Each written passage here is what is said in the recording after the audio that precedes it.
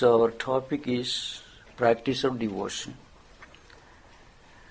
Devotion is designated as bhakti, the word bhakti or bhajanam in Sanskrit language, which is related to a Sanskrit root, bhaj, that's bhajasevayam. It stands for puja, service, worship, adoration, extreme, transcendental love for an almighty reality. All these are the meanings implied by this particular dhatu. now, um, you know, there is a special reason why uh, this topic is very dear and very popular among the spiritual aspirants. One very important reason is this path is very simple and very natural and very easy. See, in bhakti, or at least in one of its most popular forms of uh, devotional practice, uh, we don't give up anything. What we do, we divert, we channelize our natural human impulses and emotions towards a higher reality, a kind of sublimation. In fact, that is the very unique feature of this path of spiritual practice. Norm- human beings are normally devoted to their relations. Mother is devoted to her child. Father may be devoted to his son. And children may be devoted to their parents. So these human relations are built upon certain human emotions and impulses. Now, these human emo- emotions and impulses can be given a spiritual dimension by diverting them towards God.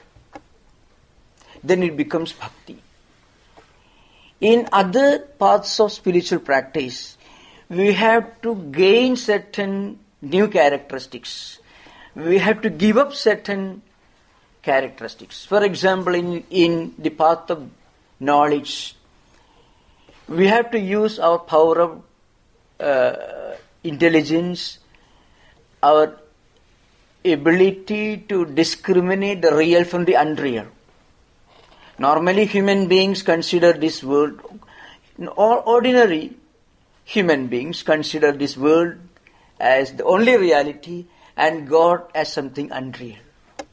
Now, a, a spiritual aspirant who follows the path of jnanam, I mean jnana marga, has to reach the conclusion at the intellectual level and then experience at the emotional level that God is the only reality, everything else is unreal.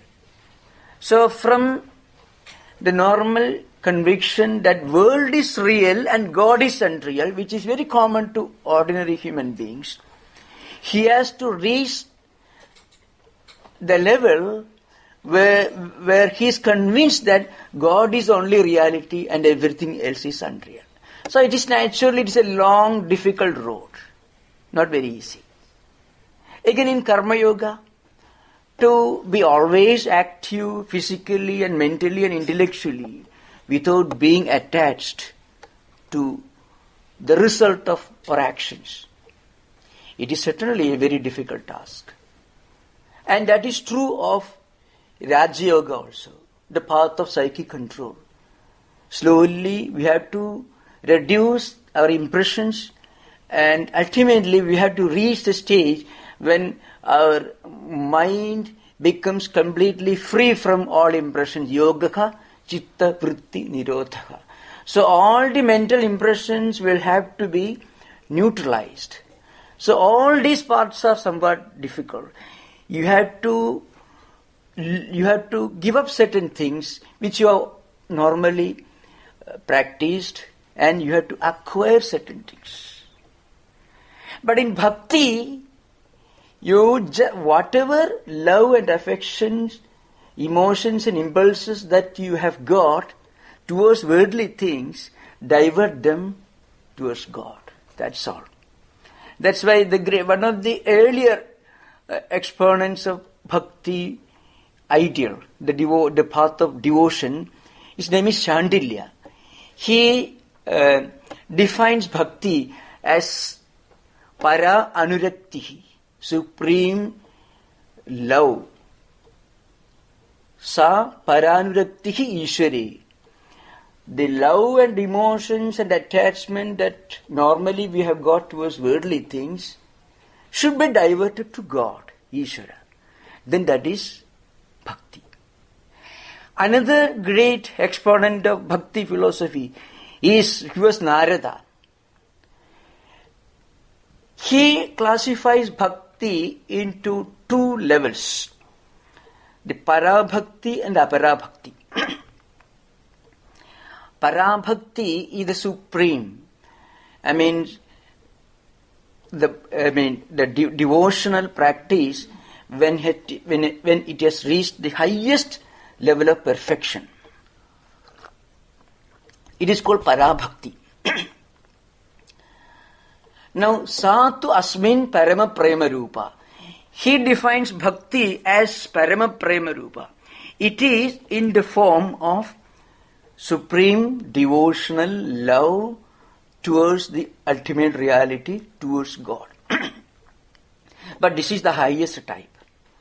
There is another kind of bhakti which is called apara, means vaidhi bhakti or normal practice. See, we get up in the morning, we do a certain number of japa or prayer, maybe confession, worship, devotional reading, reading sacred scriptures with great devotion. We normally do. So, meditation for one hour, sacred reading, scriptural reading for one hour, and then this we may repeat twice a day in the morning and evening. Now, this is the beginning of devotion. It, there is an element of formalism and there is something mechanical about it. But you know, you had to be formal at the very beginning. This is called the formalist bhakti. Bhakti or devotional exercise, which consists of certain uh, practices, certain beliefs, which we follow regularly without failure. and Narada says, this is necessary, but this is only beginning. The, there is one great danger and also there is one great advantage about it. If you develop this bhakti, it's called secondary bhakti or apara bhakti or mechanical, mechanical may not be a proper translation, secondary may be a better translation. Kind of devotional practice. This helps you to have a good beginning. It helps you to start your spiritual journey and it gives you a well defined uh, path which you can follow with great concentration and devotion. Difficulty is sometimes it becomes an end in itself. So you will find, for example, those who follow, well, now I have to do meditation, I have to do japa, half an hour, under or two hours, or I have to go to temple or a church or whatever maybe. I have to read for some time. Now I have to fast. Well, and he's very particular about it. But the problem is, it becomes mechanical because you draw a line of demarcation between your spiritual life and the rest of your life. So you will have spiritual life for four hours of the day, two hours in the morning, two hours in the evening. The rest of the time you don't bother. So, but this kind of discipline, this kind of formal practice of devotion is the only way to begin. But it should not be an end in itself. As Yatishwaranandaji says when we were reading this morning. It is necessary, but we must somehow establish a link between our daily devotional practice and the rest of our life. I mean, whole life should be spiritualized. Then this secondary bhakti or what is called mechanical bhakti becomes supreme bhakti, supreme devotion. So parabhakti supreme devotion, aparabhakti is secondary devotion. Our goal is to reach the level of supreme devotion. When the, the line of demarcation between devotional life and the rest of the life vanishes. Whole life gets spiritualized. So Narada def- defines Satu Asmin Parama Prema Rupa. Here he refers to the bhakti of the highest type. but at the beginning, we have to start the journey. See, where child has to start his education at the kindergarten level. So sometimes he has to he has to be told every day you must practice or you must read or you have to do this, you should avoid wasting time and so on. But a scholar need not be told. He knows where he has to go and uh, he doesn't need any external supervision. That is parabhakti. So, when we think of secondary devotion, what we do the normal human relationships uh, are given a spiritual orientation. Our, uh, but then we have to remember human relationships are not neglected. In fact, a great devotee will be an ideal father, an ideal husband, an ideal wife, an ideal brother, and he will be an ideal citizen also. So when we uh, spiritualize our life, when we give a spiritual or devotional orientation to human relations, relationships, we are giving them a higher dimension. so according to traditional philosophers of bhakti school, it is easy and it is open to all because in other spiritual practices certain important qualifications are uh, stressed for a beginner. For example, those who take to the path of knowledge must have a strong sense of discrimination, discernment between the real and unreal, and who should be an aspirant for liberation. So, nityanitya vastu vivekaha mumukshutvam samadhi sarkasambatti, and you know, he should uh, have perfect control internal and external control. He should, the senses should be under his perfect control. And again, uh, he should not have any desire either for worldly comforts in this life or heaven in afterlife. So not a very easy thing for an ordinary spiritual aspirant to acquire. So also for other paths. But this is open to all. Anyone can start his devotional life any moment. But he should be pure and he should be sincere. Sri Ramakrishna puts this idea, you know, vyakulata, he uses the word, which is really Sanskrit origin, which implies sincerity, integrity, concentration, uh, and a great earnestness, and uh, a sen- serious sense of purpose. All these are implied by this term vyakulata. So anyone who has got this vyakulata can take to devotional life. That's the unique feature of bhakti. well, I can give some examples based on certain stories taken from Puranic textbooks.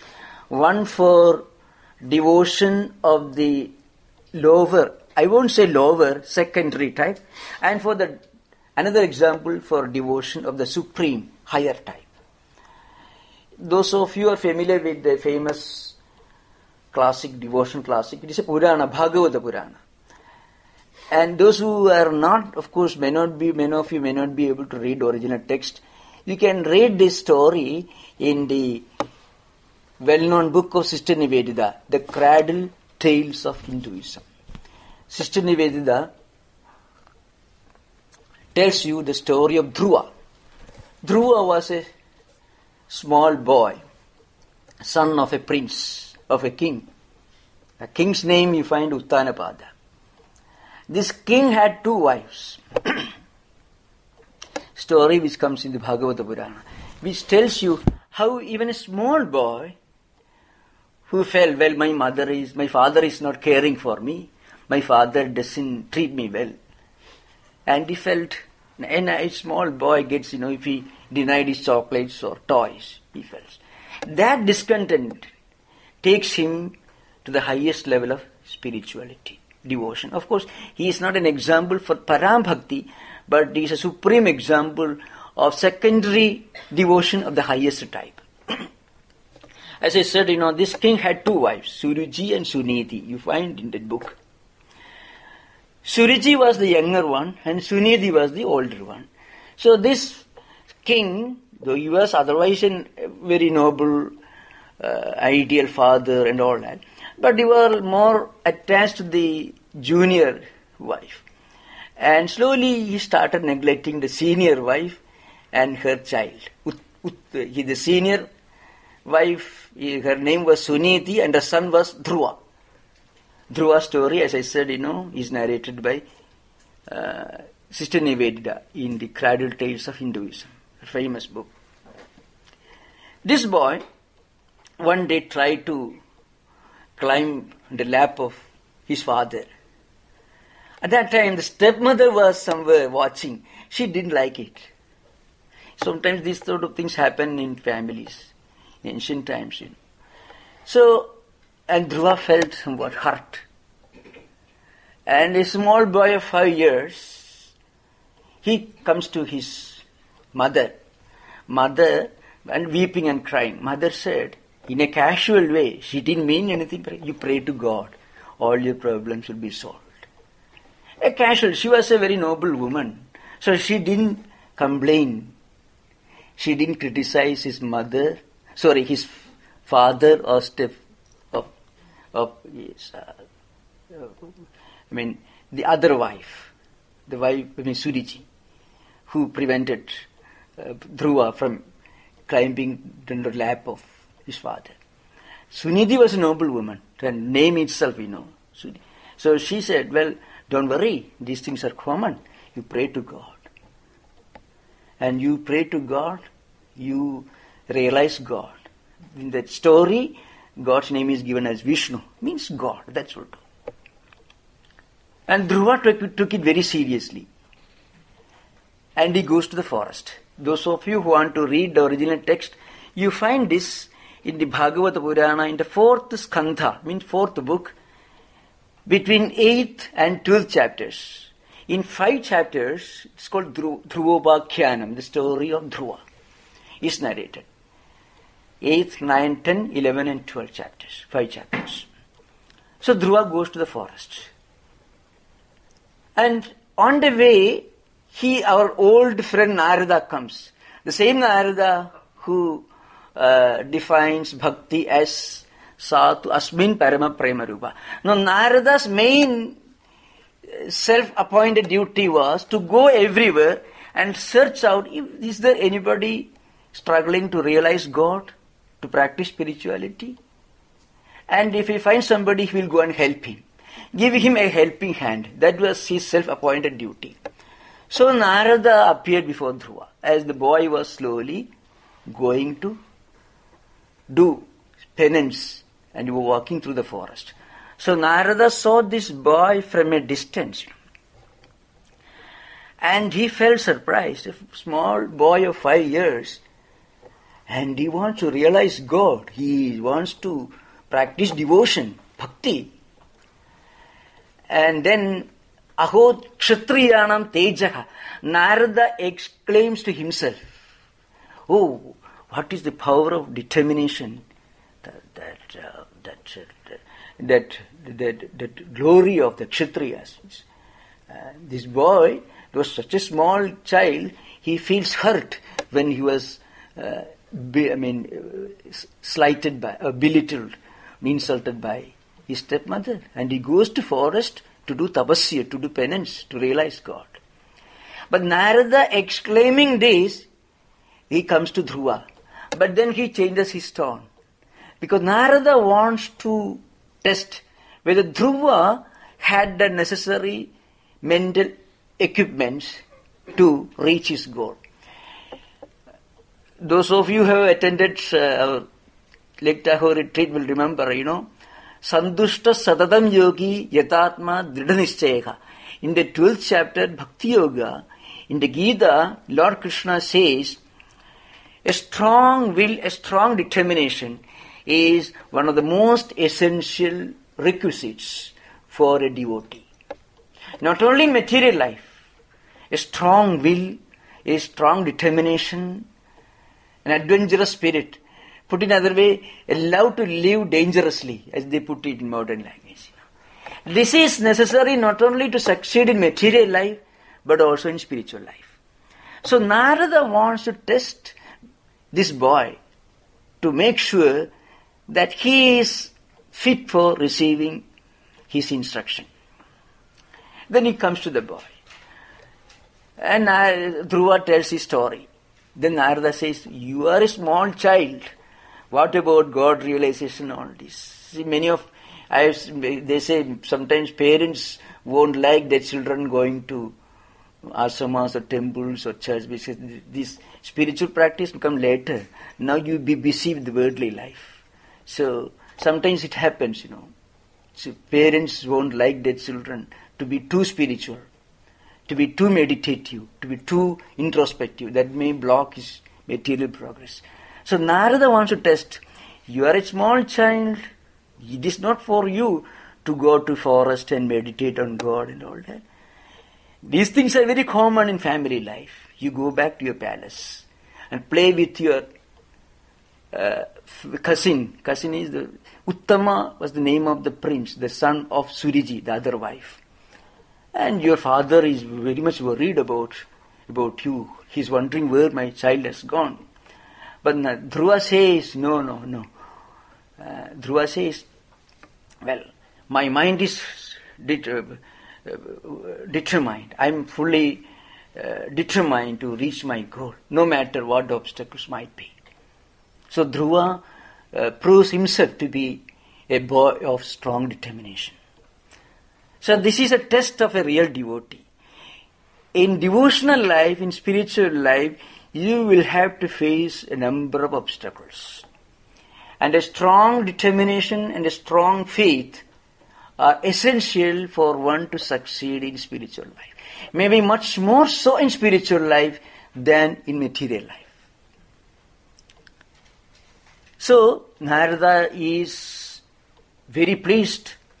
Then he uh, instructs Dhruva to, I mean, how to practice meditation, how to meditate on Lord Vishnu, God. He goes, he go to the river bank of Kalindi, river, and practice spiritual, meditative life. And within six months, Lord Vishnu appears before him. It is said that for six months, I don't, I won't want to go details. Stage by stage, Dhruva intensified his spiritual practice.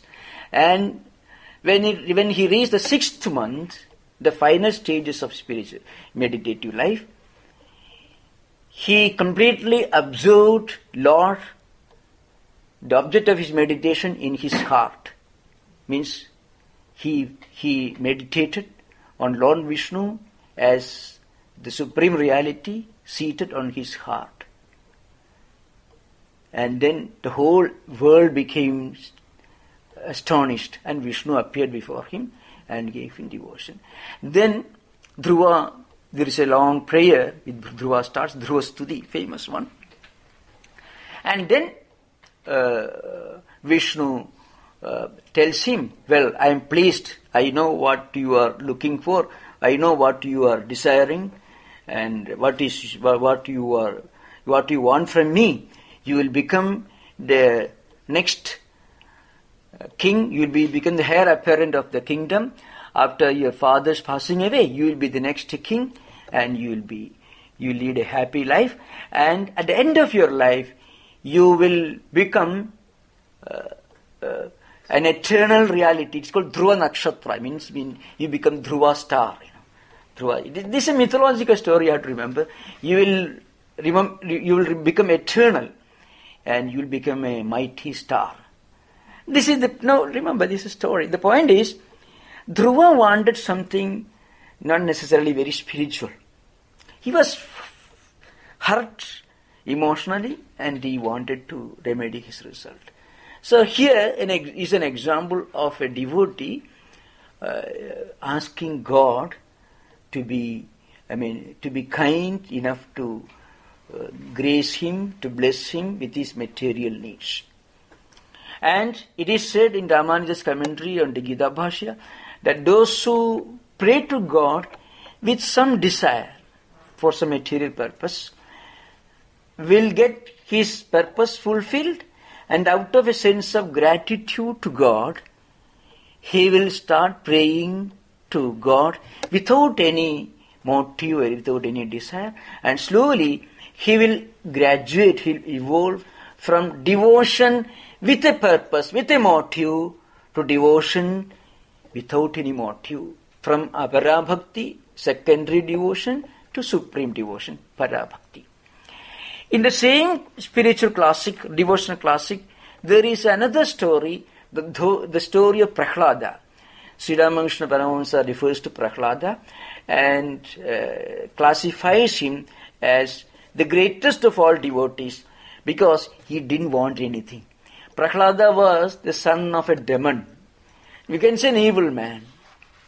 Very powerful, very learned, and very wicked. His name was Hiranyakashipu. And his worst, his greatest enemy was Vishnu. And Prahlada's greatest object of adoration was the same Vishnu. So his father was the greatest enemy of God, and God was Prahlada's greatest friend. So naturally the father got angry. Prahlada was all the time uh, chanting the name of God. Not only that, his father arranged some some type of teachers to teach him uh, that God is unreal, world alone is real. Uh, all such negative education, let us say. But that didn't have any effect on Prahlada. The more they tried to educate Prahlada on along negative lines, the more devoted Prahlada became. So, in fact, one of the uh, most uh, important uh, description of the philosophy of bhakti in Hindu tradition is attributed to Prahlada. One day the Hiranyakashipu asked him, Prahlada, please come, let me hear what your teachers have taught you. The father thought, well, this my boy must have been well educated, which means he should have been educated that God is unreal, world alone is real this kind of you know hedonistic or epicureanistic, this kind of this kind of negative education. But but when Prahlada started telling him what he had had learned from his teachers, his father became very angry. And he says, Sravanam Kirtanam Vishnu, Smaranam Padasevanam Archanam Vandanam Dasyam Sakhyam Atmanivedanam. यदि पुंसार्थिदा विष्णु भक्तिश्चे नवलक्षण। क्रियेदे हि भगवत्यध्वा तन् मन्ये अधीतमुत्तमम्। प्रह्लादस् definition of the practice of devotion is given here Prahlad is a supreme example of bhakti of the highest type parabhakti. Prahlad didn't want anything Prahlad always wanted to be psychologically and emotionally near to God. Nothing more. He didn't ask for anything. So when his father asked him what you have learned, Prahlada tells him what he himself was teaching his classmates. Prahlada used to catch hold of his friends and teach them the ideal of supreme devotion. And his father wanted him to learn the, just the opposite of it. So when the father asked him what you have learned, he said, You should always hear about God and His glories you should always sing hymns in, in praise of the Lord. And then you should always remember God. And you should consider every act of yours as a worship of God. So, Sravanam, Kirtanam, Vishnu, Smaranam, Padasevanam, Archanam, Vandanam, Dasim. You should always mentally pray to God, worship God, and you bow down before God, and you should consider yourself as the servant of God. These are the instructions coming from the son of a demon. Because the Hiranyakasipu was a very clever, shrewd man. He was going in search of this Vishnu, who is a mischief maker, who is the object of worship of his son. So, with a huge mace, fully armed to the teeth, he was going around all over the world in search of the object of worship of his son, who was his enemy. And Vishnu hid himself in Prahlada's heart. And he, that was a place where Hiranyakashipu could not uh, search. So here it is said, the author of the, the devotion classic says, Vishnu took a permanent residence in the heart of Prahlada. So, and then one day it seems that this, of course, he, the, the child was tortured by the demons, including his, his father also, but still he did not give up his devotion. And ultimately, when the torture became unbearable, it is said that the Lord Himself descended and killed the demon father, and Prahlada was saved. This is the story. But you know, the, in, in the Gospel of Sri Ramakrishna, he gives Prahlada's name as a classic example of devotion of the highest type. These are the two classic examples. One example for for as an example for secondary devotion, that is Dhruva. Another example for devotion, the highest type, supreme devotion, Parabhakti, that is Prahlada. Now, uh, you may sometimes wonder what, uh, what, what, what is the process of developing devotion? There are two types of uh, processes normally uh, explained in devotional classics. One you find in Bhagavad Gita 12th chapter from 8 to 11th verse. In four verses, Lord Krishna gives four types of devotion, devotional practices, four stages of the evolution of devotional practice in a descending order. And uh, the great uh, philosopher, Sri Vaishnava, Vaishnavite philosophers, Visitadvaita philosopher Ramanuja uh, gives uh, a, a, graphic description of the ideal of self-surrender in his book. So Ramanuja says the best way for one to practice devotion is to surrender oneself to God's grace, which he calls Sharanagati, in Sanskrit is called Oprapatti, means complete surrender.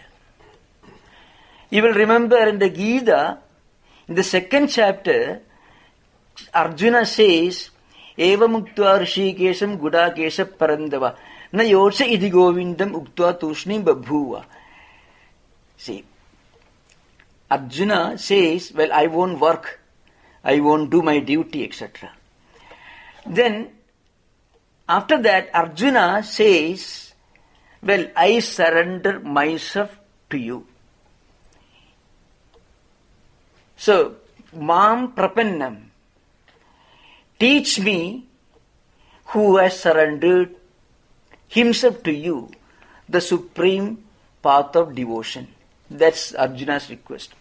When this request directly came from Arjuna, Sri Krishna opens his dialogue, his conversation with Gita. Similarly, when a man opens his heart, when he surrenders himself to God, he becomes an instrument in the hands of God. So long as he thinks that he himself is the is the doer, the actor and also enjoyment of the result of the enjoyer of the results of his action. God keeps in the background. The moment a devotee really feels himself that he has surrendered himself to God, that moment he becomes an instrument in the hands of God. Then God Himself starts functioning through him. സർവധർമാൻ പരിത്യജ്യ മാമേകം ശരണം വ്രജ അഹം ത്വ സർവപാപേഭ്യോ മോക്ഷയിഷ്യാമി മാസുജ in the eighteen chapter Lord Krishna says you surrender your self completely to me that's that, that is the that's supposed to be the charama sloka the most important the last important words of the gita according to devotional school of philosophy now when a, ma- when a person, when a devotee surrender himself or herself completely to God, then God Himself starts functioning through him. And we call it the grace of God. Now, Ramanuja says there are six important characteristics necessary for an ideal devotee to reach this level of spiritual self surrender. The long list is first, he must keep his mind filled with uh, positive thoughts, thoughts, thought currents which are helpful in spiritual life, in devotional life. Because if you, uh, if negative thought currents enter the mind of a devotee, what happens? There will be a lot of conflicts conflicts in spiritual life are mostly due to conflicts between positive thought currents and negative thought currents. If a devotee spends some time for spiritual practices, meditation, and again rest of his lifetime, if we, if, if the devotee spends in uh, in doing things which may not be helpful in spiritual life, negative thought currents also enter his life. So there will be conflict. That's why while meditating, those who try to meditate without uh, getting fully settled in spiritual life, uh, all types of uh, shocking, troubling thought currents come to the surface. Because mind is not fully established in positive thought currents. So Ramanuja says the first step in devotional life is that you must try to fill your mind with positive thought currents, positive impressions, positive ideas. And along with that, you must also avoid the entry of negative thought currents, negative ideas, ideas which cause conflict in our mind and confusion in our mind, which take away, which take us away from the devotional path. So anukulyasya sankalpaha, which means filling the mind with positive thought currents always time. Pratikulyasya varjana means completely avoiding negative thought currents. We cannot deliberately avoid negative thought currents. Suppose you decide, well, I will not allow this, this particular thought to enter my mind, then you will be always thinking of how to avoid those thought currents from entering you, which means you will be always dwelling on those negative thought currents. So that's why Ramanuja says the best way to avoid negative thought currents from entering your mind is to try to fill your mind with thought, positive thought currents. If you move towards the east, naturally you'll be moving away from the west. You need not deliberately make an effort to move away from the west if you are moving towards the east. The more, the closer you, the farther you go towards the east, the farther you'll be moving away from the west. The third characteristic Ramanuja gives is this. Rakshasiddhi Vishwasaka means a strong conviction that God is the sole protector and God will protect me. That God will protect me. Rakshasi means, means He will protect me. It is future sense, future tense. So, Ramanuja says, God, a devotee should always feel that God will protect me all the time. God's willingness, readiness to bestow His grace on the devotee is emphasized here. And the devotee should also feel should have a strong conviction that God is the sole protector. Then only God will protect you. So Goptrutta Varanam Tatha. Gopta means protector. The one who controls you, regulates your life, protects you. So, first we must try to fill our mind with positive thoughts, thoughts which are helpful in spiritual life, in devotional life. And then, of course, casually it is mentioned we must avoid. Whenever negative thought currents try to enter, we must avoid. How? Deliberately, you must try to avoid physically engage, physically engaging yourself in negative ideas, negative thoughts. I mean, you cannot physically prevent thoughts from entering your mind, but you can certainly prevent yourself from doing wrong things at a physical level. That's what Ramanuja means. So when you see a wrong, when you see a wrong picture, when you think a wrong thought, when you hear a undesirable sound, all this can enter, all this can bring negative thought currents to your mind. As I said, you know, in the Viveka the great Shankaracharya describes how all the five senses uh, drag mind the external objects, and these five senses uh, bring negative thought currents, destructive thought currents to our mind, and mind gets completely lost, and that leads to destruction. शब्दादि पंचभिव पंच पंचत्वस गुणेन बद्धा कुरंग मादंग पदंग मीना भृंग नर पंचभिंचित किमी famous words Vivekachudamani Shankara all the time all the five senses mean sense of perception senses of perception vision hearing touching smelling and tasting All these five senses of perception are dragging your mind simultaneously at one time towards external objects.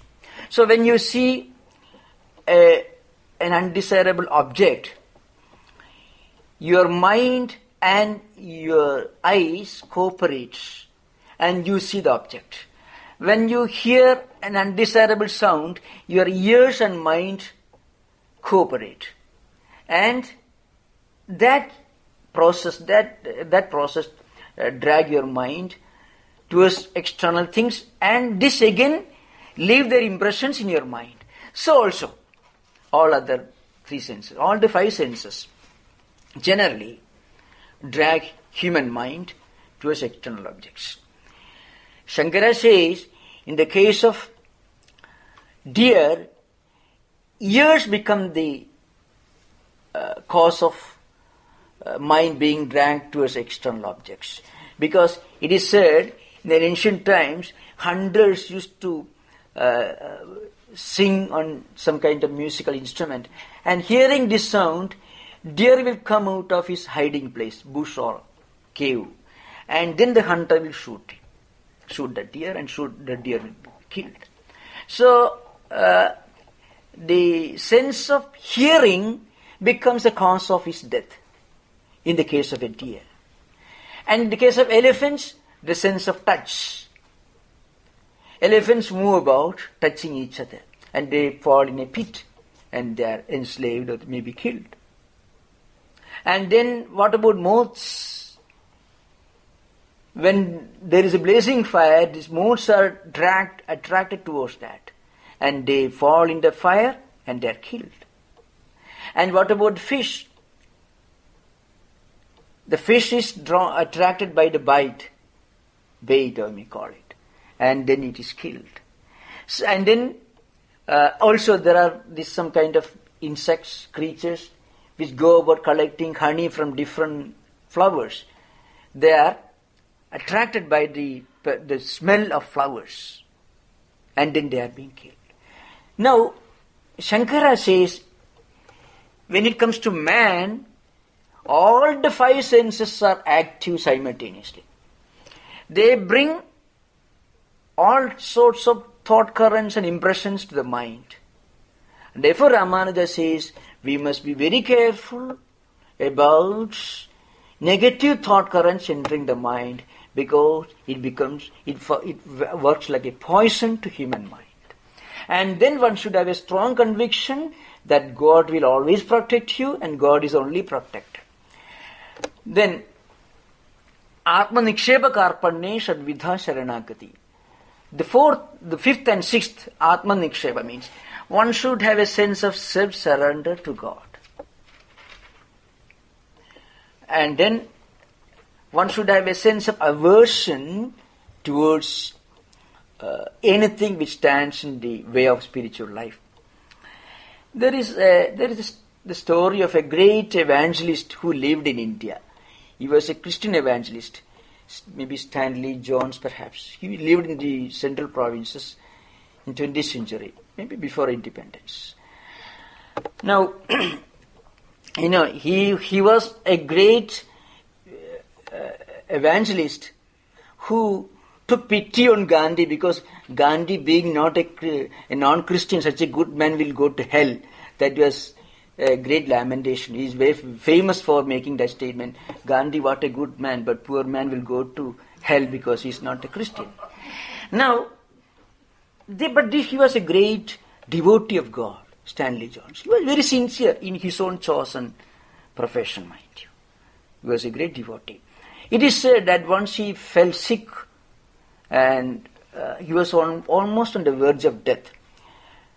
And he kept praying for weeks, but uh, there was no improvement in his health condition. And ultimately, uh, it was almost decided that he would go back to Europe uh, for recouping his health.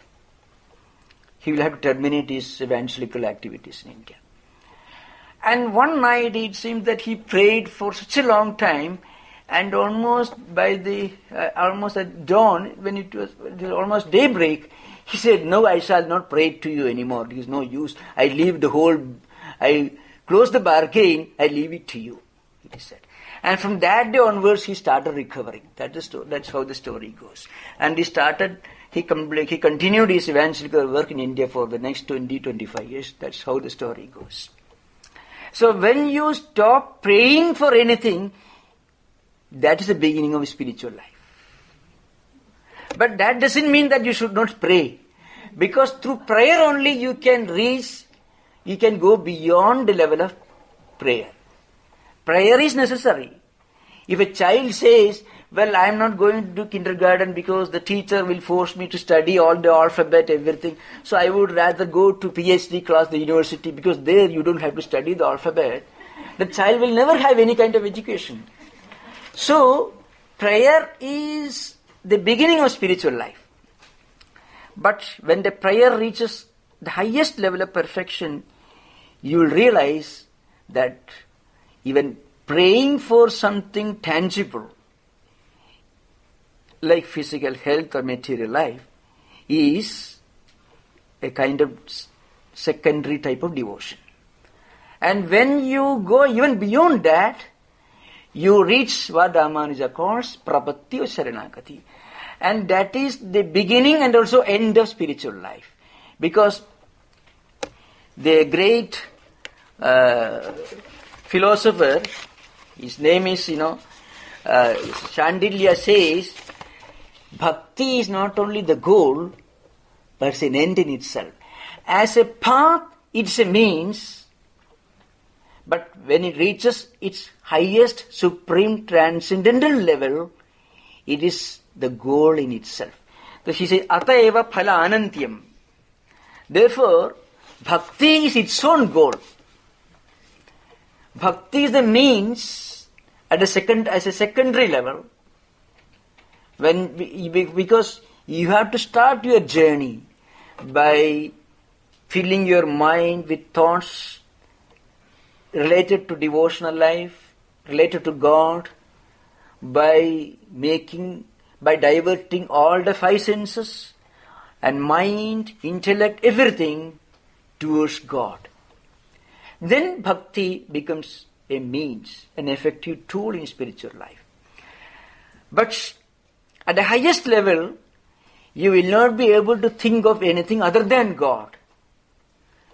You will not be able to dwell on any idea other than God. That is the goal itself. So bhakti or devotion is the means at the secondary level and the end and the goal at the supreme level. That's what Ramanuja says.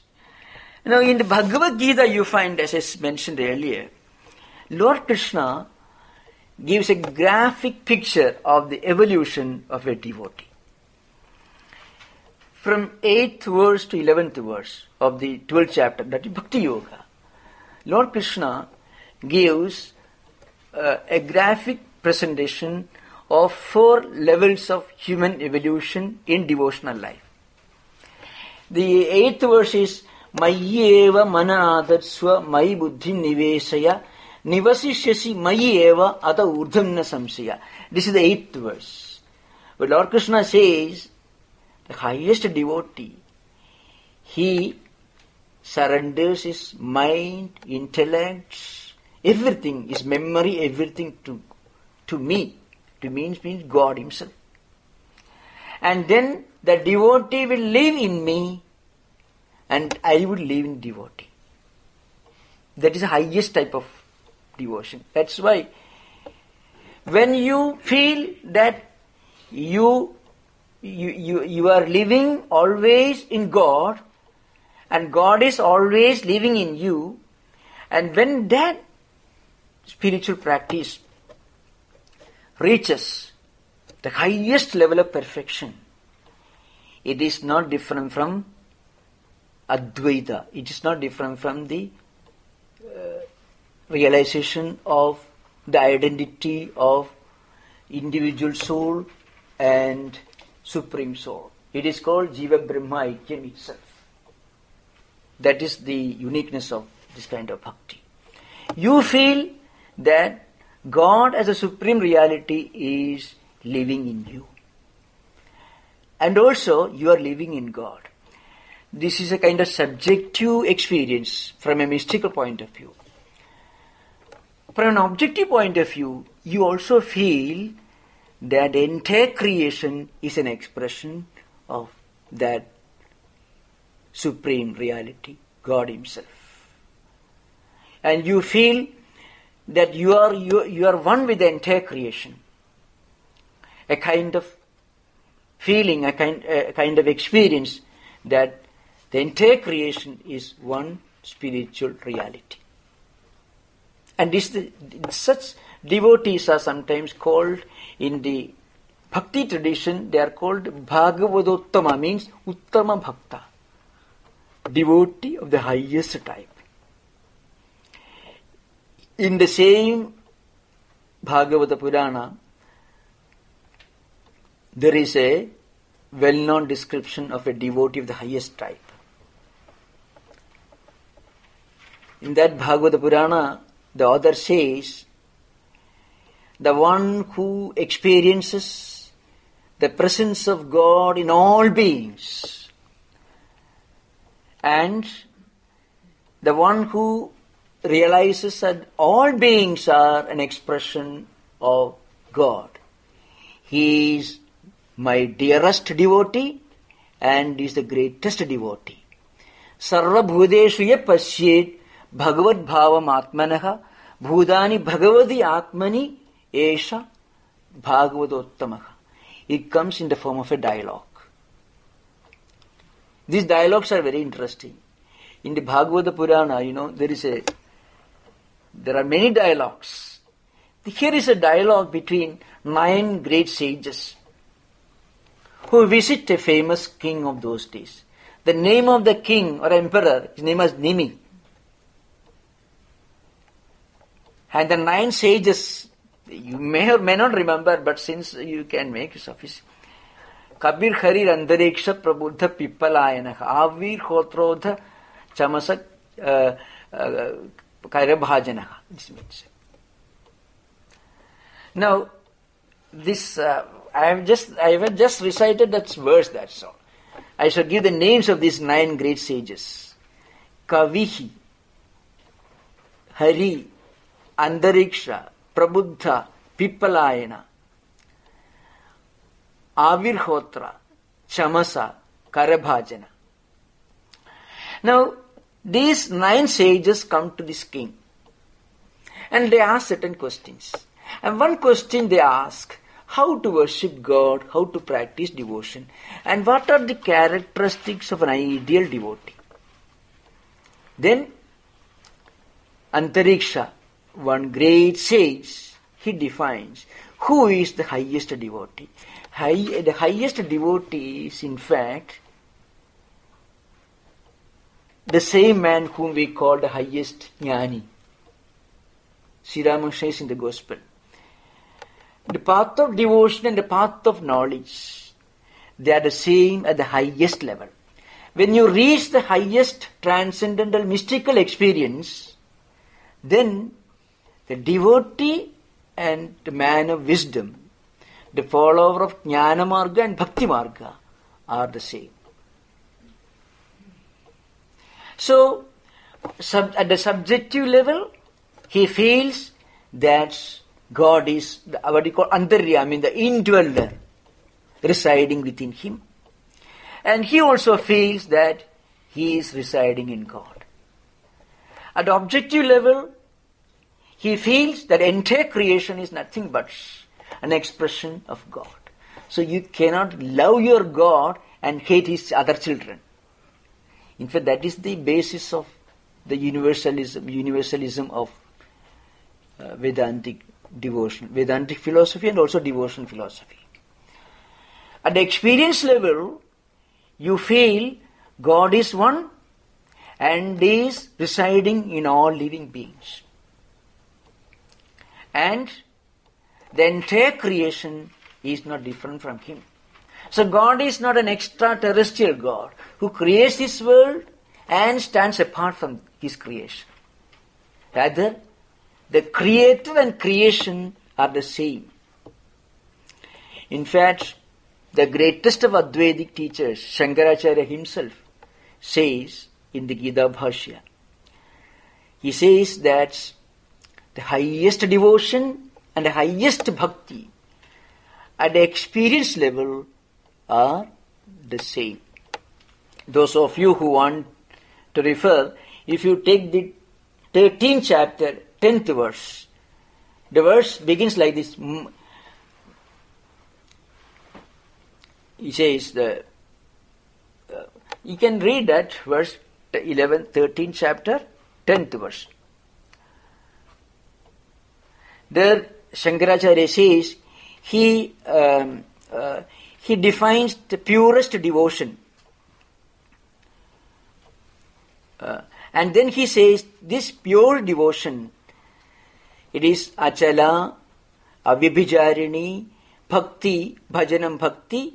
Then he says this devotion, which is which is which is free from any wavering, any kind of inner conflicts. And then he says sa jnanam. That highest devotion is jnanam itself. That says that is the that is that is the, the these are the words of Shankara. Sa Jnanam, that highest devotion is Jnanam itself. Now, the question may arise how to develop this kind of devotion. In fact, here, as I said earlier, one should first of all uh, try to give a spiritual orientation to all our thoughts and deeds. See, ordinary uh, people, you, they cannot uh, begin with devotion of the highest type. Those who are involved in different activities of secular life, householders' life, they cannot neglect their duties, they cannot start uh, uh, uh with the highest devotion. But so Sri Ramakrishna says, live in this world do all your duties, perform all your responsibilities, but somewhere in the corner of your mind, remember that God is the only supreme reality. They should not make you negligent in your duties and responsibilities, should not make you indifferent towards your duties and responsibilities. But when a conflict comes, when a disappointment comes, we sometimes may be forced to turn to God. But before that disappointment comes, better the beginning itself think that God is a supreme reality. Then you can avoid disappointment. Even if you don't accept God, God exists. Sri Ramakrishna says, not a blade of grass moves without His will, God's will. So even if you don't accept, that is, that is God's will, that is the only power behind all your actions, still it is God's will only. The difference is, if you do not accept, you will have to face a lot of anxieties, stress, stress and tension. If you accept it, you can avoid it, that's all. You are not, you are not uh, discovering a new truth. Even if you don't accept the fact that God's will alone is behind everything, it is God's will only. If we accept it and live in this world, we can avoid anxieties, problems, psych conflicts and all that. If you do not accept it, you have to face all this. If you accept it, then you can say everything is a play of God. So whenever there is a conflict or problem or tension, then you can remember everything is God's will. So that can work as a cushion, as a saving factor in times of crisis, tension and all that. But that's one that's one way to practice devotion. It's better not to wait for a crisis to come in your life and force you to turn to God. If you can accept the truth at the beginning itself and not wait for a crisis, that's easier. Generally, if we read the lives of many great saints, many Saint Francis of Assisi or India also so many you find Tulsidas, Narayana Bhatta, many. They had to face a lot of crisis. Sometimes disappointment, sometimes shocking experiences. It happens. So Lord, the Lord Krishna says in the Gita that even people who turn to God compelled by circumstances, they are certainly far better than those who never turn to, turn to God even when they had to confront terrible disappointments and disillusions. Now, a number of examples you can find in, in, in the history of devotional philosophy. For those great saints who, uh, who completely transformed their life when they uh, turned their emotional crisis and disappointments towards God. Instead of being shocked and swept off their feet by their shocking experiences, they just turned all this towards God. I can give one supreme example. That is, uh, you, those of you who have, who may have seen a book called Narayaniyam, you may have seen perhaps this. Narayaniyam is a famous, it is supposed to be the greatest uh, Sanskrit hymn. In Sanskrit hymnology, it is supposed to be the greatest and most beautiful, most profound Sanskrit devotional work belonging to the branch of hymns. Its author was Narayana Bhatta. He was not just an ordinary devotee. He, he was supposed to be one of the greatest scholars in Vyakarana and Mimamsa, means either in Sanskrit grammar and also in Sanskrit uh, ritualistic philosophy. In fact, he was such an outstanding scholar in all the non branches of learning of his time. He lived, he lived in about in the later part of 16th century and the beginning of 17th century. And these well-known books on grammar and Mimamsa philosophy and many other branches of learning are so well known and they are, they are, they are studied by research scholars. But his greatest book is, most well-known book is a small book, as I said, you know, Narayaniya. It was translated into English by Swami Tapasyananda, who was the vice president of Ramakrishna Mission. Now, his life is one of the supreme examples. He was very proud of his learning, and he was following a path of secondary devotion, very strict in his devotional practices, getting up morning, that. But then, for him, devotion was just part of his life. It had reached, it has become a kind of mechanical devotion, regimental devotion. As I said earlier, uh, devotion at the secondary level has got one disadvantage. Sometimes it degenerates into some kind of mechanical devotion, like an army surgeon, army commander. See, very, they'll be very, very strict and very punctual, but that won't take you one inch towards supreme devotion. So this man was an outstanding scholar, some, supposed to be a genius. And remember, his name is famous not only as a philosopher, who has written original books in Sanskrit, Mimamsa, and, and, and literature, Sahitya, and also Vyakarana. This man was very proud of his learning, and one day he was spending his time in studies and studies, only intellectual pursuit, without uh, in, without spending much time in devotional practices. So one day his guru made a remark, oh, what a pity such an outstanding scholar. His teacher, the one who taught him Vyakarana, means Sanskrit grammar. What a pity. This man, if he takes to spiritual devotional life, it will be wonderful. Somehow he happened to overhear this. Then suddenly he realized he was an outstanding scholar, but he has spent all his lifetime in acquiring knowledge and writing profound philosophical works on grammar and philosophy. But it didn't work. He overheard this, and from that day onwards, he became so shocked of these words which were uttered, in, uh, uttered by his teacher, who did not know that his disciple was overhearing this. That made a complete transformation in his life, and the rest of his lifetime he spent in a temple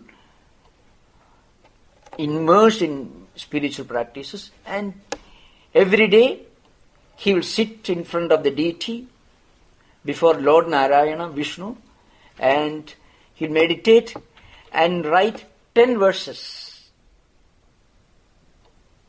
And in uh, and in 100 days he completed 1000 verses. And that book is supposed to be the greatest, one of the greatest books on Sanskrit hymnology. It is a condensation of the story of Lord Krishna as expounded in the larger book Bhagavata Purana. So such examples you can find in, in, in many places like that. So it is called a kind of, you know, no, what we normally call a difficult, crisis, critical crisis or dilemma in our life is suddenly changed into an instrument for higher evolution in devotional life. We have already taken about 45 minutes, no, one and a half, one hour, 15 minutes. For the next 15 minutes, if you have got any doubts or clarifications, we can have some kind of interaction up to 11.30. if you want to, if you want me to explain, if you, if you de- greater detail what I have already explained, or any new ideas if you want, you can raise and I shall try to explain. Maharaj, you gave two great examples, Dhruva and Prahlada. Especially Dhruva, his father was a Rakshasa. Dhruva's father was Prahlada's. uh, Yes. Prahlada's, Yes. forgive me. Yes, yes. Uh, he was a Rakshasa and he wanted to convert him not to be. So, and we also, there are tendencies. Each one of us, um, you know, according to our uh, philosophy and our uh, Hindu dharma, there are past tendencies. When we were discussing how to meditate, all these negative thoughts, all these things, they enter. These are because I believe of past tendencies. They are still there. In these two examples, Prahlada, Rakshasas, and of course Dhruva, the father did not understand the simple thing, he is also myself. Hmm. So, how did these people get to that level? Nothing is known about their past. about the past of Hiranyagarbha, uh, Hiranyakashipu, is Hiran- Prahlada's father. I mean Prahlada and Dhruva. So they should have been the greatest devotees to get to that level Mm. to fight these, uh, fight the consequences, like father being Rakshasa. In our own th- meditation, when we enter little conflicts, little uh, thoughts, all these things enter and then destroy the concentration. Now the question is, how do you get to that pure uh, point of devotion when you are meditating? Yes. And of course, I should uh, say things a few, tried a few things. Prahlada, when even when uh, uh, when his mother was bearing the child, Narada instructed her, and it is that the child who was not yet born listened to all this, and he became a great devotee. This is how the story goes. And in case of Dhruva, Dhruva must have practiced devotion in his previous life. Otherwise, uh, he would not have been born to such a noble mother who gave a direction to her own child to turn to God to solve what may be kind, what may be called a family crisis. Now, if for an ordinary, for, for, for a spiritual aspirant these days, when he has to face conflicts and problems in meditative life, he should try to um, spend more and more time in devotional reading, in devotional discussions, when he is not already engaged in in uh, spiritual practices. So uh, uh, he should try to establish a link between his life and his the total, I mean all his activities with his devotional ideal. If you are spending only two hours in the morning and two hours in the evening for spiritual practices, the rest of the time if you are engaged in other activities without any spiritual thought, then what happens? During this time you may acquire many negative thoughts which will remain in your mind and they will come in the form of conflicting thought currents when you try to meditate. So how to reduce it? Meditate, uh, the meditative mood should be uh, practiced even when you are engaged in other activities. Meditate, kind of meditative mood should be practiced internally even when you are engaged in activities which are not directly associated with devotional life. Mentally we can do. That's what Yadiswaranji writes in meditation spiritual practice. A link should be established between our normal routine, normal activities, norm, when, when we are engaged in normal responsibilities, and meditative life. Otherwise, there will be an artificial barrier between your meditative life and other life. And that can create conflicts. Because if you don't think about the spiritual ideal when you are engaged in other activities, there's a great danger. Suddenly, negative thought currents may enter your mind and they will remain in the chittam. They will come to the surface when you try to meditate. So, all our activities should be given a kind of spiritual orientation. The line of demarcation between the spiritual and secular should slowly vanish. Then only meditation becomes natural. That is the one way. So what you can read good books. Through good books, good thoughts will enter the mind. That may help you in meditative life. Suppose you have read the lives of Siddhartha or Shankaracharya or Swamiji or Holy Mother or Saint Francis of Assisi or Buddha, anybody for the matter. Then try to meditate. Suddenly your mind may dwell on ideas you acquired from there, these great lives. That will not create conflict. But if you have read something else, a thriller, for example, or Terminator, and then you start meditating, what happens, you know? Yeah, your mind will be engaged in those thought currents. You want to meditate on God, suddenly Terminator will be, will be coming to your mental surface. So, so all at other times also you must try to engage your mind in acquiring ideas, accumulating ideas which will not create conflicts in the mind. Even when, when a farmer, when he is involved in farming activities, he can think of God, this is my duty, God has given me this duty. There have been great men. You find in Mahabharata, there was a great devotee. He was a great jnani, Vyadha. He was, his job was selling meat, cutting animals and selling meat. Particularly a very violent activity. But he was a great jnani. He thought this is the work which God has given me in this life. So even while cutting meat, it was God he was thinking about, not the meat which he was cutting with a knife. That never occurred in his mental horizon. God came to his mental horizon. So see how he establishes a link. Vyadha Gita is So you can find.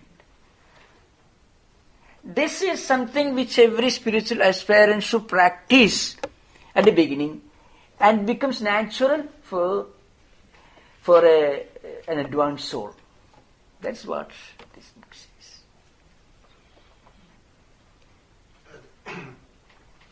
A true devotee with full uh, faith in God, uh, maybe he's not, uh, Bhakti Yogi is not practicing spiritual things all the time, but he is doing only good things that he believes to be good things. And trying to offer to God as a Yogi. and from the external world, from this society, he gets a very cruel treatment for doing a good job from his conscience and actually accepted universally as a good job. He's trying to do and all, but if he, uh, in this crooked world, you know, this, uh, he gets some punishment, undue punishment. Instead of, instead of getting reward from it, he gets punishment. So, how should he, you know, how can he maintain his belief in God, faith in God, when he knows that I have been this me for a good thing when I instead of getting the reward, and I am I am giving I'm doing a good job offering it to God, and yet you know, external world of society is torturing me like that. So, uh, two, two questions. How best he can keep his faith alive, you know, that God is Mangal, Mangalmaya, you know, God is for good only. And he, he uh, instead of reward, God is giving me this punishment. You know, whoever does in the society, I say it is from God how will he maintain that, his belief? What is the best way that he will not waver away from his path of devotion? Mm. And the other is, uh, if he is a true devotee, true believer, not, and best to his knowledge, he is not doing any bad thing, no repugnant. Is there, in real life, is there really any chance that this is only game? Ultimately, God, you know, like Prahlad faced so many tortures, and ultimately God uh, rescues him. So, uh, can he believe it in mind that I stick to my faith and I, I, stick to my good work, I stick to my bhakti, and God is going to take care of it. This is temporary testing of my faith or something, but God will surely take care of it. He will remove, somehow, remove the uh, torture this, these two things. You know, what is your answer yes. Um, in fact, um, I would have dealt with this subject uh, if I had gone through the rest of the verses. I referred to the 12th chapter. I referred only to the 8th verse, Mayyeva Manaadhatsva, etc. 9th, 10th, and 11th verses uh, actually deal with this problem. But anyhow, I shall come to this briefly at this described in the next class I shall deal with the other three verses. In descending order, Lord Krishna gives a description of four types of devotees, four, I mean, four, four stages of evolution in the 12th verse. Now, in the Gospel, Sri Ramakrishna gives an answer in the form of a story of this a very high order of devotee. A great ascetic monk uh, a devotee was uh, tortured by robbers, and then you know your story, and then uh, and then somehow he was rescued by some good people, and he was fed and he was treated. Then who who tortured you? Somebody asked him. They said, and who is feeding milk to you? Who has saved your life? Then the devotee said, uh, the one who tortured me is now protecting me and feeding me. Of course, that is the highest uh, siddha level, means highest level of perfection. But at a lower level, if one uh, keeps himself busy, I mean, engaged in reading such stories, such devotional classics, the lives and teachings of great spiritual personalities, slowly you will uh, develop an inner strength to confront your problems. Problems will not be solved, but when you become stronger, the problems appear to be less intense. That's what happens. You increase in strength. You, your, your strength to confront the problems increases. And proportion to that, you feel the problem as less and less intense. That's what happens. So these spiritual ideas uh, equip, our, equip our mind and make, uh, make, uh, make us fit and capable of confronting our problems. Uh, they make us more capable of confronting and facing the problems. And to that extent, these problems appear to be less and less intense, less and less threatening. That's what really happens. So. Uh, Take it as an effect of reincarnation? No, that way, of course. That's true. No, no, that that is another way of analyzing things. You know, that is true. But if you analyze everything in terms of karma theory and law of reincarnation, uh, it may sometimes make you a fatalist, and that's a serious problem in spiritual life. You see, uh, if every, if you are just a tool in the hands of uh, your actions, the results of your actions of previous life, then there is no scope for you to improve your lot. Then God has also no role here. So this kind of logic is sometimes uh, negative. It can have a detrimental effect in devotional life. So for a devotee, he should have the strong feeling, God can look after me. By His grace, I can improve my lot.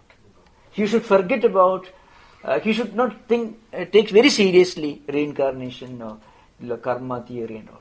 Because it can, that's a, the astrologers have got a serious problem, you know.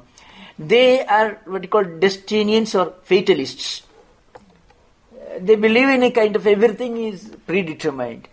That, that kills your initiative, spiritual initiative. That should be avoided. Maharaj, Maharaj you know, this question came up. So one day he angrily said, he does not kind of believe in incarnation. He never talks hmm. about mm. it. But then somebody asked him. Then he said, you know, the Lord entity, whoever made the law of incarnation mm. can also overrule it anytime. Yes, yes, I tell you, I should not name anybody, but one, one, a very outstanding monk in Ramakrishna Mission, uh, once had a problem. Uh, one uh, astrologer had predicted that uh, he will have to face a serious crisis in spiritual life. So he was very much worried, and uh, and the astrologer was an outstanding man. But all great astrologers will tell you, astrology is a science, but God is greater than astrology. Because astrology is a form of calculation based on the position of stars and constellation of stars and Milky Ways, everything. But all these were created by God. So, if you believe in astrology and fate and then you are you, you think you are helpless, you are actually denying the existence of God. So, so if God has written this line on your palm, He can erase the line, He can delete also. So that is the argument. So from a devotional point of view, uh, fatalism or law of karma, these things do not have much value. They they are, they are, they are true. I mean, according to the system of Vedanta philosophy. But uh, the argument is, if God has destined it this way, then He can uh, rectify it. He can modify it. That's the idea. If you say the God Himself is a victim of His own fate, you know, then you are you can't say God is uh, all merciful, omniscient, omnip- om- omnipotent, all that. See? Swami, can you say what happened with that Swami who had been, it had been predicted? What happened? He is a great monk now. Uh, He is a great monk. A, a proof of the grace of God. And the same logic can be, I mean, extended to, you know, when you earlier mentioned there are a lot of imperfections in the surrounding nature or in the society, but again, it's a manifestation of God. So still, there is scope for improvement and uh, advancement, either in a, in a karmic level or in a spiritual plane. Is that is that best way to explain, Maharaj? Yes, uh, though the world is a creation of God and everything has been ordained by God, still man can improve his lot by doing good for good work for others. That's what Swamiji meant when he said, the world is a gymnasium for us to work out our karmas. Either you may say world is uh, is under the grace of God, or is a is myth. I mean, is sorry, it's a mithya according to Vedanta. Both are right, right. Two ways of putting the same truth. But then we need not run away from the world. The world is a gymnasium. No, you don't go and stay in a gymnasium. You go there, you work out, you do something which maybe uh, you you engage yourself in some activities which uh, help you to become stronger and healthier. That's all. Like that, this world is a place where we can do good work for others, and thereby we can spiritually evolve to a higher level. That's the way. That's what Swamiji means by that. I think we have already. Would you? You will be present this evening. Uh, yes. Then uh, shall we terminate because already we are two three minutes late. I have just one question. Ah, please, please, please. I'm sorry, uh, Ah, please, but, please. Uh, uh, my question will be very brief because I'm not a really very strong spiritual person. Okay. I've read a lot of books, but I've traveled a lot of places, and uh, it's been last 20 years I've been asking monks and sadhus this question often and again. Yes, yes. And the, my question is again just like uh, to give you an example. When I was coming across this CA1, I had lost my road because the GPS went down, and uh, then I suddenly saw that Vedanta retreat, uh, small little place there, and that uh, gave me a realization that okay, the retreat center is here. So this is my question. For the last 20 years, I've been asking this question, and uh, what are the signs that there is a God? What are the signs? Just like we had that small little retreat center written convinces me that at least I can search for something. What are the signs? Because I've been asking this question so many times. One monk in uh, rather very renowned saint in the Himalayas, he told me that God is within, within you. Some said you will get your signs when you feel passionate about it, you feel emotional about it. But the question is, what are the significant, you know, things, maybe material, maybe unmaterial, but how? Because we talk of so many things like Yes. abstract. Yes, yes. So what is the concrete proof or concrete uh, kind of set sign, some kind of symbols that say that this is what are the symbols of God, Yes. and therefore you can go towards it. Yes. Now, one way is if you look at the world, um, from one angle, you can see there is a perfect harmony and rhythm and orderliness. See, look at, the, think of the law of gravitation and all this. You can find there is a, there is an inherent symmetry, harmony, a rhythm from another angle is perfect chaos. Is it not so? You can find. Well, but uh, the same chaotic condition appears to be perfectly orderly and uh, in perfect harmony from another angle. Now, if this world is the creation, if the world has got a harmony, then there should be uh, one supreme intelligence behind it if you think that human God is the, uh, is an invention of human intelligence, or human speculation, then uh, you have to admit that uh, a machine could produce men like Shankara, Buddha, Sri Ramakrishna, or Jesus Christ. Cannot. So, how do you explain this unique spiritual personalities who have been exerting their spiritual influence on succeeding generations for millennia, for centuries and centuries? How do you explain all this? How do you explain the perfect serenity and equanimity and tranquility associated with great men who could face all this? Think of a man like Gandhi, for example. Gandhiji was, mm, he was not a mm, founder of a religion, but you know, uh, he could confront the crisis of physical extinction, death, with chanting the name of God. Here I am not talking about Jesus Christ being crucified or Shankara vanishing or Ramakrishna. They are all, well, we all consider them to be incarnations. Let us say Buddha and so on, Jesus and so on.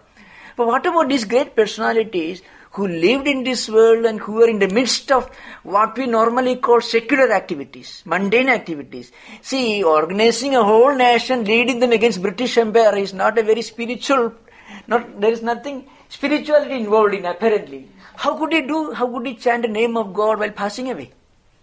You may not agree with all, with all that is said and taught. So, so how do you explain this? Uh, Turiyanandaji was a disciple of Sri Ramakrishna, many great people. There have been many such great men, we know. People, you may not agree with their views, but you, you can't deny that there was something about them which made them so tranquil and peaceful and serene in, in the, in the, in the, while facing critical situations in life. It's not co- common people be frightened by that. So, and they were practicing certain things. Call it believe in God or whatever it is. How do you explain all this? So, or if you if there is an effect, there should be a cause behind it. So, if you trace the effect to its cause, this world cannot be without a cause behind. But these are different arguments. You know. So ultimately, we, there are many things which we cannot prove in the laboratory of science, but they are intensely felt and experienced truths of life. Law of karma is an example. You can never prove it in laboratory of science. But you ask people privately, many people believe in it. Apparently, they will, you can't present a paper on the Congress of Scientists on law of karma. They will law, drive you out of that conference. They will uh, remove your name from the list of scientists. But go to them, and ask them privately, many of them believe in it. So there are many things that we cannot prove in the laboratory science, but they are much more closely and intensely felt. This is one proof. Of course, we have uh, exceeded our time. Thank you for asking the question. You can continue your question in the next session. Thank you. Namaskar. Om Shanti Shanti Shanti Hari Om Rasa Sri Ramakrishna Arpanamastu.